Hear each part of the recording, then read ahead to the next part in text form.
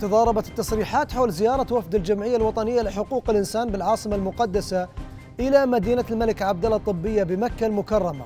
في الوقت اللي أشار فيه أعضاء الوفد الحقوقي إلى رفض المدير التنفيذي المكلف للمدينة دكتور عماد خياط. مقابلتهم والاستماع إلى رؤيتهم بخصوص شكاوى المراجعين استبعدت إدارة المدينة الطبية ذلك وأشارت إلى أنه وقت حضور الأعضاء آه، لمكتب المدير العام تزامن مع ارتباط المدير العام المكلف باجتماع المجلس التنفيذي. هذا الأمر حال دون خروجه للوفد وإبلاغه بالانتظار لحين انتهاء الاجتماع مؤكدا أن أبوابه مفتوحة لجميع الجهات سواء رقابية أو جمعيات أو غيرهم وفق الأنظمة والتعليمات.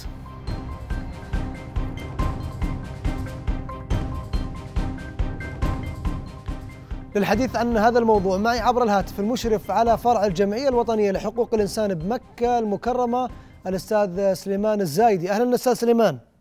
أهلا وسهلا حياك الله. يعطيكم العافية. يعني صار الله يعطيكم العافية. أنتم أيضا يعطيكم العافية. أنا تابعت متابعتكم لقضيه مستشفى جيزان. الله الله يساعدكم ويعينكم. والله يعظم أجر اللهم يعني المتوفين اهلنا في جيزان. ويعين ال يعني أهاليهم على على يعني الصبر ونسأل الله سبحانه وتعالى لل- لل- للمرضى والمصابين الشفاء العاجل. هذا عمل هذا عملنا ومالنا فضل فيه والواجب انه هذا تكونوا دائما في صورة الحادث الحادث. هذا أصابنا جميعا جداً. الله يرد صحيح. آه، يعني الحين نتكلم أستاذ سليمان عن عن زيارتكم. آه، يعني صار في تضارب في الآراء. هل أنتم زرتوا المدير العام آه، للمدينة الطبية ورفض يستقبلكم؟ يا سيدي اولا زي- زيارتنا هي زيارات اعضاء الجمعية. دائما هي زيارات آه، يعني متصلة دائما. يذهبون يذهبون الأعضاء لمواقع العمل للمؤسسه الدولة لكي صحيح. يعني يرصدون ويراقبون ال- الأداء. هل هذا يتفق مع الأنظمة؟ مع مع يعني تعليمات ال- ال- الدولة مع نظام الحكم. زيارتنا للمدينه الطبية فعلا هي كانت واحدة من الزيارات. ال- الفريق يعني ذهب للمدينة ومن ضمن في في بداية في بداية زيارته يعني ذهب المكتب المدير ال- ال- التنفيذي أو ال- الحقيقة المدير المكلف. آه، استقبلنا الو- الوفد مدير مكتبه. طلبنا من مدير المكتب إنه فعلا يبلغ اننا موجودين. بلغوا وكان فعلا في اجتماع وإحنا قدرنا يعني حقه إنه إنه يعني يرأس اجتماع ويبقى في في مهمة. لا شك مهمة عمل وغادرنا وكانت هو لم يعني يرفض لم نصر ولكن يعني سبحان الله أحيانا مثل ما يقولون وما الأخبار الا رواتها ال- الأمر فعلا كان عاديا. إحنا قبلنا عذره اعتذار اعتذاره لأنه لأنه فعلا كان في اجتماع رسمي وإحنا لم يكن لنا فعلا موعد ما ولعلمكم دائما اعضاء الجمعيه هم يذهبون لكي يلتقون بالمواطنين بال- بالمستفيدين من. من جميل. الهيئات والمؤسسات ويقابلون أيضا الموظفين هذا ما تم أي طيب نتكلم نتكلم إنكم أنتم آه، جيتوا بدون موعد فما استطعتوا تقابلونه فالمشكلة كانت إنه ما كان في موعد بينكم وبينه صحيح أستاذ سليمان أيوه اي هذا نعم، صحيح جميل. بس إحنا إحنا ليتنا نركز فعلا على وضع المدينة هذا هو هذه قضيتنا وقضية جميل.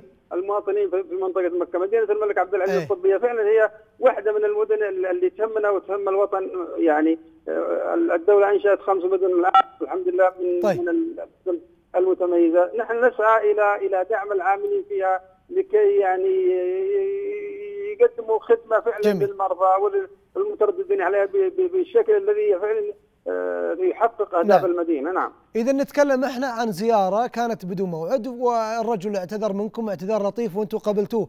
السؤال الآن ما هي بالتأكيد. ملاحظات الجمعية على المدينة؟ عشان أنتم التقيتوا بالمواطنين. سيدي ال- ال- الجمعية اولا وزاره الصحة عليها ملاحظات من قبل.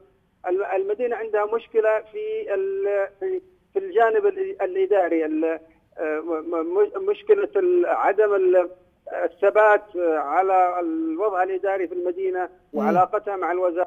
هذه آه، هي التي سببت بعض آه، الخلل آه، خاصة في التامينات مشكلة المدينة الآن في التامينات لدى المدينة مجموعة كبيرة من من من المنافسات يمكن أكثر من عشر منافسات طبية وتقنية وشغلات كثيرة آه، فتحت مظاريفها و- و- ومطلوب ترسيتها لكن الجانب الإداري آه، آه، فيه خلل وهذا الخلل لم يمكن المدينة من من يعني استكمال هذه الإجراءات. وبالتالي صار هناك نقص في الأدوية إيه. موجودين في في الصيدلية يعني أيضا هم على كفاءة وجود أستاذ سليمان يعني وجود المدير اسمح لي أستاذ سليمان وجود المدير إنه مدير بالتكليف وليس بالأصالة هذا خلى المدينة يتراجع مستواها.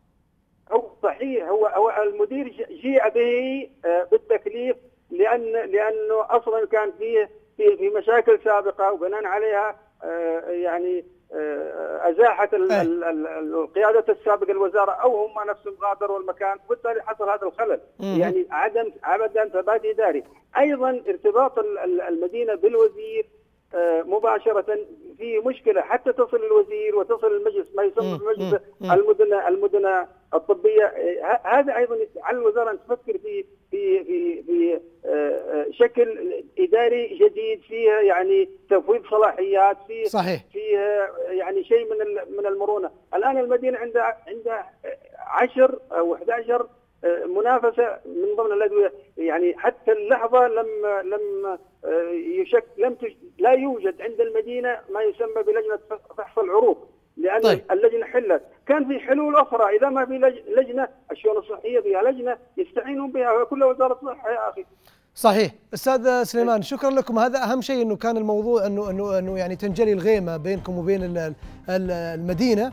هذا ال- المهم عندنا. وأيضا إنه المطالب اللي أنتم قاعدين ترفعونها الآن إن شاء الله تجد إذن صاغية من وزارة الصحة اللي مشغولة الآن في في جيزان. آه، الاستاذ سليمان الزايدي المشرف على فرع الجمعية الوطنية لحقوق الإنسان في مكة المكرمة. شكرا جزيلا لك يعطيكم العافية.